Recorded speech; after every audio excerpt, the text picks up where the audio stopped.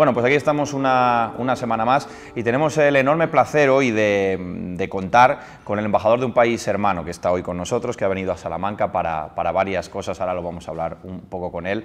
Y lo primero saludarle, hoy estamos eh, de tu a tu nada menos, insisto, con el embajador de Perú, con don Rafael Roncagliolo Orbegoso. Señor embajador, bienvenido. Muchas gracias, un placer, encantado. Un placer tenerle aquí. Bueno, sé que no es la primera vez que está en Salamanca, que ya, ya conoce la, ciudad. no, sí, bueno, he estado siempre un poco de paso, como ahora, pero por supuesto que puedo apreciar que es una ciudad encantadora, bellísima.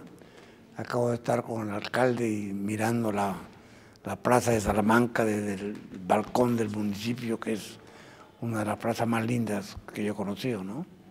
¿Le gusta entonces eh, la ciudad? ¿Aprecia esa parte artística ¿no? que tenemos? y, bellísima, además con una tradición cultural y un significado enorme para el Perú y para América Latina, de manera que hay muchos motivos para venir a Salamanca. Bueno, es que además hay, hay muchos estudiantes latinoamericanos hay aquí. Muchos estudiantes latinoamericanos y hay muchos estudiantes peruanos ahora también, sí.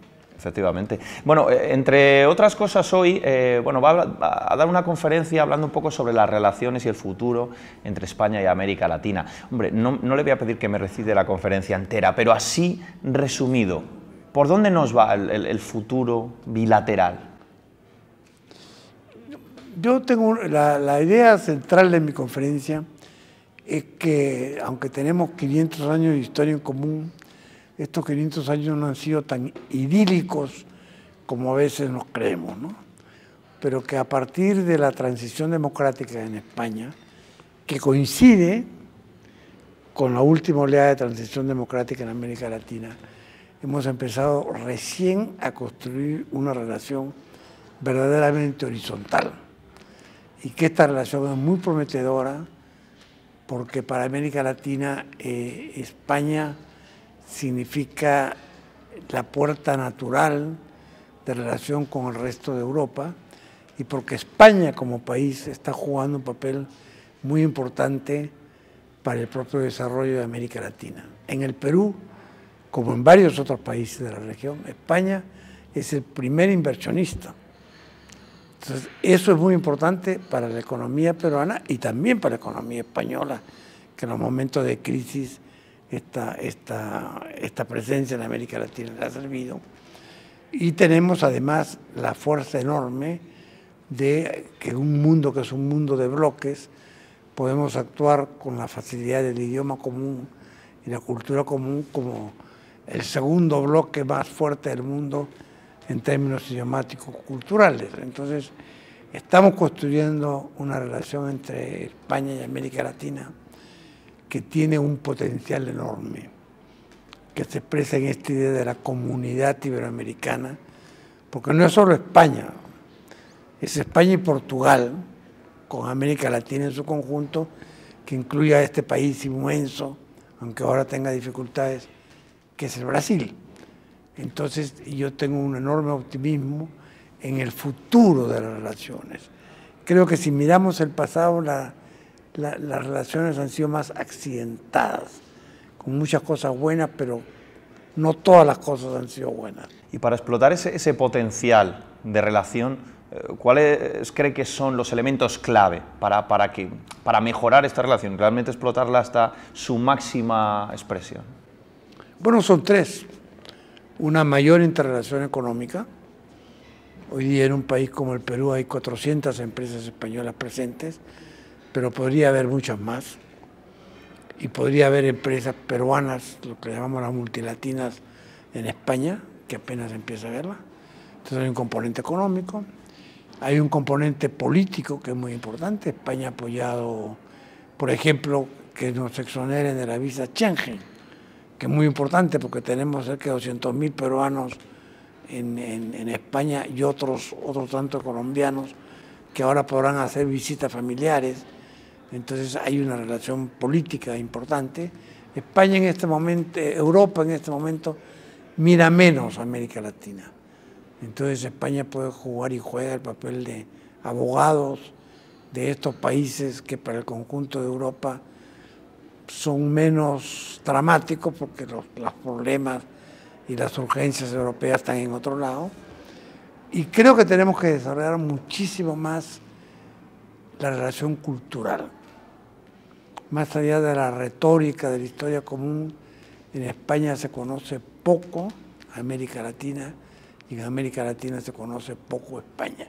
Yo recién llegado embajador pude ver la serie de televisión Isabel, fue muy importante porque para nosotros los reyes católicos eran como Romeo y Julieta. Entonces empezar a entender un poco la realidad de ese mundo fue importante. Y trajimos una exposición de una cultura preincaica peruana, cultura mochica, y nos dimos cuenta que en España, para mucha gente, antes de los españoles había los incas y nada más. Y los incas son un pedacito de la historia hispánica. Entonces hace, hace falta tener mucho más conocimiento recíproco, intercambio tecnológico, intercambio de estudiantes que cada día es mayor, sobre todo aquí en Salamanca, donde tenemos muchos estudiantes peruanos, intercambio científico y tecnológico. Entonces hay muchísimo que hacer. Embajador, le voy a pedir eh, que eh, hacer un viaje ida y vuelta, es decir, primero, ¿cómo está hoy el Perú? ¿Cómo, cómo nos transmitiría hoy? ¿Cómo está hoy el Perú? Bueno, el Perú es una de las economías que más crece en América Latina y que crece sostenidamente. A lo largo de los últimos 20 años eh, tuvimos un crecimiento superior al 6%. Esto bajó el último año, porque bueno, como consecuencia de la crisis en toda la economía mundial, todos bajamos. Pero seguimos teniendo uno de los crecimientos más altos. Tenemos estabilidad política, que no, no ha sido una característica de nuestra historia, pero ahora el 5 de junio vamos a elegir por cuarta vez consecutiva un presidente que, cuyo mandato proceda de las urnas. Nunca antes, en estos 200 años de historia, habíamos tenido cuatro presidentes electos sucesivos. Siempre había vivido en el intermedio intervenciones militares. Entonces, estabilidad política, estabilidad en el crecimiento económico. Una cosa muy importante que es una mayor inclusión social.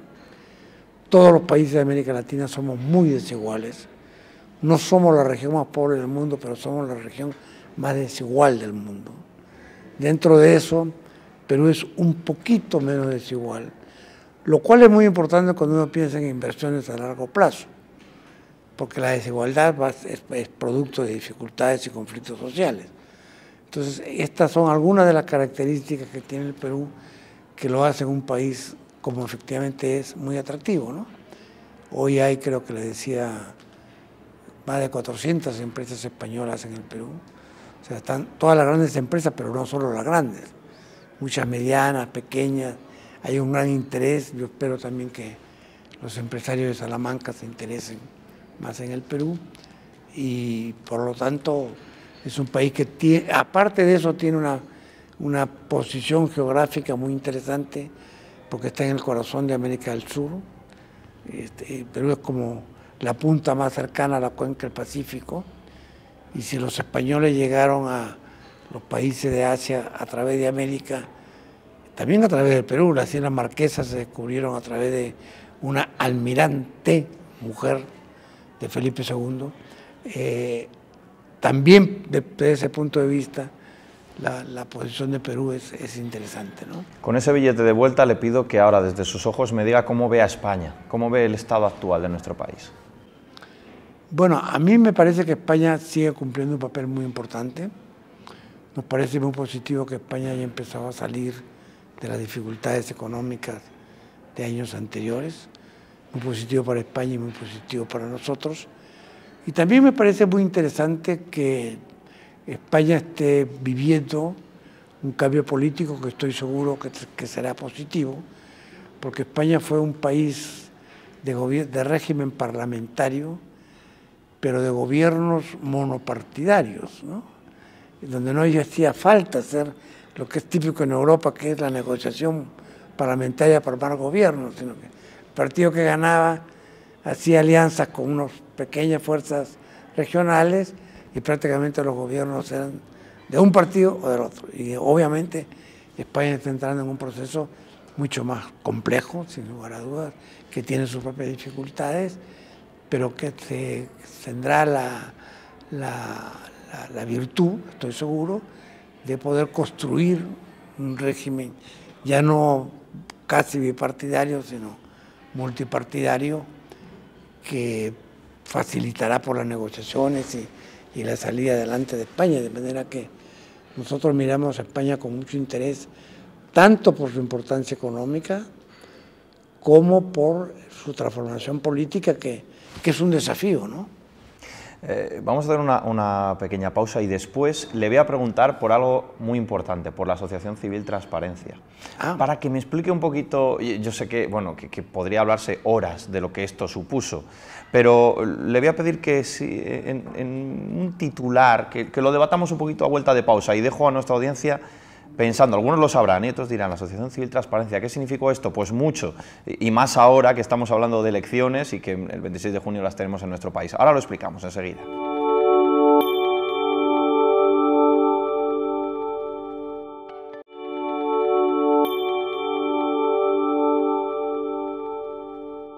Bueno, pues aquí continuamos y teníamos una deuda, que era hablar de esa asociación civil transparencia, que yo tengo muchísimo interés en escucharlo de su voz.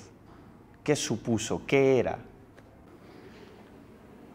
Qué curioso que me pregunte usted por la Asociación Civil Transparencia, que fue algo que fundamos en el Perú en 1995.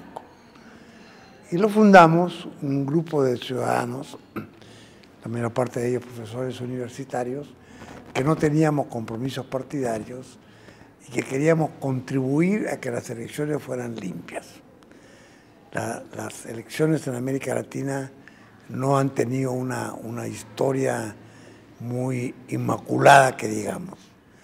Entonces nos movía la convicción de que es responsabilidad de los propios ciudadanos asegurar la limpieza de su proceso electoral. Entonces esta asociación se creó para movilizar jóvenes que fueran a observar las elecciones. Está muy bien que haya observadores internacionales, pero la primera obligación de observar es de los propios ciudadanos. movilizamos efectivamente algunas decenas de miles de jóvenes sin partido, cuya tarea era observar que el proceso electoral, el conteo de votos, el depósito, el cómputo, etcétera, fueran hechos sin, sin alteraciones, sin fraudes, ¿no? Yo creo que fue muy importante para afirmar la democracia en el Perú. Se movilizaron, me parece que 70.000 jóvenes, en todo el territorio del Perú. Y esta experiencia también alimentó otras experiencias en otros países de América Latina. Que yo recuerde que yo haya participado México, Nicaragua, República Dominicana, El Salvador, Haití, Ecuador, Colombia, Venezuela, de manera que se volvió parte del paisaje electoral el hecho de que hubiera ciudadanos, en particular jóvenes, que eh, participaban voluntariamente en el proceso solamente para observar y garantizar. Y yo recuerdo que quizás lo que explique mejor lo que fue transparencia, una reunión con los jóvenes después de la primera elección en que les preguntamos por su experiencia y nos dijeron que lo más importante para ellos era haber sido útiles, útiles a la democracia y haber contribuido al fortalecimiento de la democracia sin necesidad de un compromiso partidario. No, no, estábamos en contra de los partidos, todo lo contrario, los partidos son fundamentales, pero no son suficientes, sino que se requiere el compromiso de todos los ciudadanos para que las elecciones sean limpias. Eso fue transparencia. No, me, va a permitir que le dé la enhorabuena porque me parece algo, bueno, fue eh, además reconocido internacionalmente, como usted dice, se exportó a, distintos países latinoamericanos principalmente. Me, parece esencial porque uno puede tener un derecho al voto, pero si, si no tiene la garantía de que ese derecho al voto es ejecutado limpiamente, ¿de qué sirve, no? ¿De qué sirve? ojalá Le agradezco que me haya preguntado por una cosa que es tan importante y tan linda para mí. No, es que, es que realmente, realmente lo es. Nosotros ahora en España, el 26 de junio tenemos elecciones, tenemos la suerte de votar en libertad y en democracia, pero no, no, no, ocurre en todas las partes del mundo todavía, tristemente, ¿no? y ojalá esto se exportara más. Eh, por cierto, me gustaría preguntarle cómo, ve la situación de, de, Venezuela, eh, que, que, es una situación complicada, que yo creo que nos preocupa a todos también desde aquí. Eh, bueno, creo que, el, señor Maduro en, algún momento incluso, mm, bueno, eh, yo creo que, las críticas de, Nicolás Maduro engrandecen a quien las recibe, es mi punto de vista, porque vamos, estar en desacuerdo con, Maduro me parece que ya dice bastante. Eh, ¿cómo, ¿Cómo ve esa situación? Yo creo dura y preocupante. Bueno, usted comprenderá que yo como representante diplomático de, de mi país, del Perú, tengo ciertos límites para opinar sobre las situaciones de otros países. Pero lo que sí le puedo decir, porque es la posición oficial del Perú y de los países de América del Sur, es que eh, nosotros venimos pidiendo hace ya mucho tiempo que haya un diálogo en Venezuela y que se pueda pasar de una situación de confrontación a una situación de, de entendimiento, de cooperación, de diálogo. El Papa acaba de pedirlo otra vez y usted ha hecho referencia a algunas expresiones duras que el actual presidente de Venezuela tuvo conmigo, pero esas expresiones fueron producto justamente de que yo exponía en ese momento lo mismo, que no que queríamos el derrocamiento de nadie, sino que queríamos que hubiera un diálogo en Venezuela. Y nos parece que eh, eh, eh, no más que tomar partido por una parte u otra, hay que tratar de contribuir a que un país hermano tan importante para nosotros pueda resolver pacífica y democráticamente su diferencia. ¿no? Eso me parece que es el anhelo no solo de mi país, expresado varias veces, sino de todos los países de América del Sur y de, la comunidad internacional. Venezuela nos, nos duele mucho. ¿no? Vuelvo a su vida, que, que, me interesa mucho. La docencia, ¿qué papel ha ocupado eh, la docencia, eh, además de distintas universidades de distintos países, ¿qué le supone la docencia? ¿Qué le, le aporta al embajador de Perú en España? Bueno, yo lo que le puedo decir es que la docencia ha sido la constante más importante de mi vida, porque yo empecé mi vida como profesor de primaria. Yo terminé la secundaria y empecé a enseñar en la primaria, y entonces durante toda mi vida he enseñado primero en el colegio y después en la universidad, en la universidad también desde muy temprano. Y, creo que, la pregunta es casi biográfica, ¿no? creo que las otras cosas que he hecho en la vida no han sido más que otras expresiones de la voluntad docente. Para mí el periodismo hay que entenderlo como una forma de docencia a gran escala, ¿no? Y por supuesto las, responsabilidades de gobierno, políticas, hay que entenderla sobre todo como una forma de docencia, ¿no? De manera que yo me considero ante todo un profesor. Primero un profesor de primaria y últimamente un profesor universitario. Bueno, además para que la audiencia lo, entienda, bueno, somos prácticamente colegas, porque eh, bueno, en el mundo del periodismo ha hecho muchas cosas, ha dirigido, si no me equivoco, periódicos, programas de televisión, eh, revistas, ¿verdad? Eh, bueno, un montón de cosas. Y, y al final la comunicación que está presente en nuestras vidas para todo es esencial también en la labor diplomática. En la labor diplomática y en la labor política, porque en la historia de la democracia contemporánea, primero lo más importante era el Parlamento, después lo más importante eran los partidos. Yo estoy convencido que hoy día vivimos una tercera etapa que yo llamo la democracia mediática, en que el escenario principal de la política son los medios, son los sedes de televisión, las páginas de los periódicos, es sobre todo ahí donde se hace la política. Entonces, me parece que hoy día la relación entre comunicación y democracia es más fuerte que nunca. Esto puede servir para bien, pero también a veces sirve para mal, ¿no? De manera que, pero esta relación me parece que es, es un cordón umbilical que hoy día une el ideal democrático a las comunicaciones. Eh, eh, ¿Y cómo vive ese otro escenario, digamos, de ese diálogo, de esa comunicación en el mundo digital, en el mundo eh, que ahora parece que, vivimos pegados, que siempre digo yo, a pantallas, ¿no? a pantalla de un ordenador, a la pantalla de un teléfono móvil, que, se genera ese otro espacio tan poderoso también?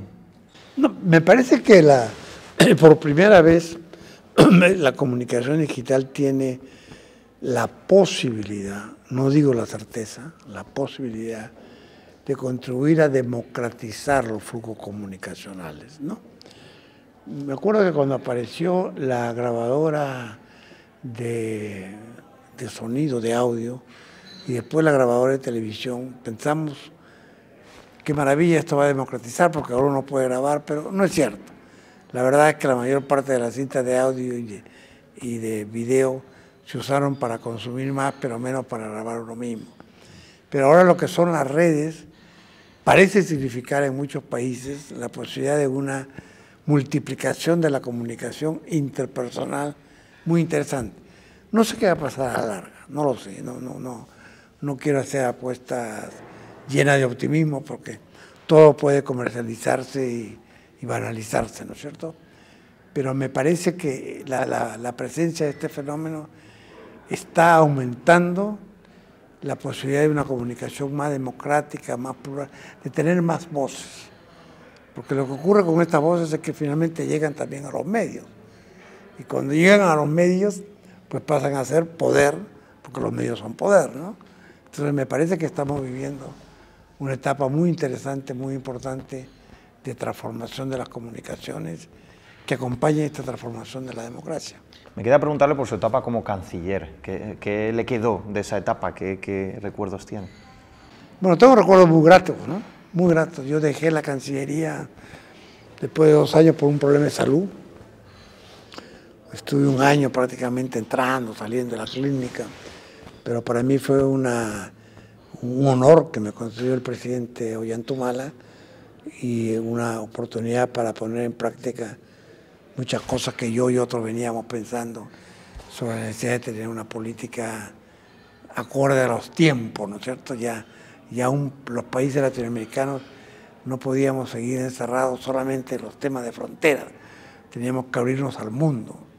Y yo creo que mi Cancillería, como otras por supuesto, sirvió para eso y que para mí fue una experiencia riquísima de apertura al mundo. Entre otros países, España, con con la que multiplicamos mucho nuestras relaciones. Pero después de eso, como le dije, yo estuve con algunos problemas de salud y cuando me recuperé, el, el presidente me llamó y me propuso que venga de embajador a España. Y entonces esa fue la parte más linda de todo, porque yo me siento muy contento en España. Es un país que me gusta mucho, con el cual tenemos muy buena relación y entonces mi experiencia como canciller y mi experiencia como embajador en España forman un todo de un momento de, enorme satisfacción. ¿Está disfrutándolo? Muchísimo. ¿Está disfrutando esta etapa como embajador? Muchísimo, muchísimo. Por ejemplo, venir a Talamanca, conversar con usted, es una maravilla. bueno, me queda una, cosa que preguntarle. Quiero preguntarle porque sé que hace poco estuvo acompañándole, eh, ya digo, no hace mucho, a Mario Vargas Llosa en, Salamanca. Que, que, me diga algo sobre este genio. Bueno, lo que yo le puedo decir es que eh, Mario Vargas Llosa para los peruanos es un gran escritor, no solamente tiene el premio Nobel, sino que nosotros lo reconocemos como tal. Si usted quiere entender la historia del Perú, las novelas de María Vargas son más importantes que muchos ensayos de sociología y de política. Una novela como Conversación en la Catedral le permite entender el Perú y lo que fue la época de la dictadura de Odría mucho mejor que cualquier tipo de, análisis de ciencias sociales, ¿no es cierto? Entonces es un gran escritor, es una persona muy comprometida con el Perú y, por supuesto, como toda persona comprometida, sus opiniones, claro, son muy controvertidas, ¿no es cierto? Pero yo creo que su, papel está siendo muy positivo con, en la vida política peruana y, y, por supuesto, en su vida personal no me corresponde hablar, ¿no? Le agradezco muchísimo que haya estado con nosotros. Encantado. Eh, eh, queríamos, además de, bueno, de hablar un poco sobre los motivos de su visita, conocerle un poco más, que es, que es la idea de este programa. Yo creo que lo hemos hecho y, que además nos, ha dejado muchas cosas para, para reflexionar y, muchos ejemplos y caminos que seguir. Embajador, un gusto. Bueno, gusto es mío, le he pasado muy bien, así que muchísimas gracias, de verdad. Muchísimas gracias. Eh, bueno, con el embajador del Perú, gran invitado hoy en, en De Tú a Tú. Espero que hayan disfrutado tanto como nosotros. Hasta la próxima. Gracias.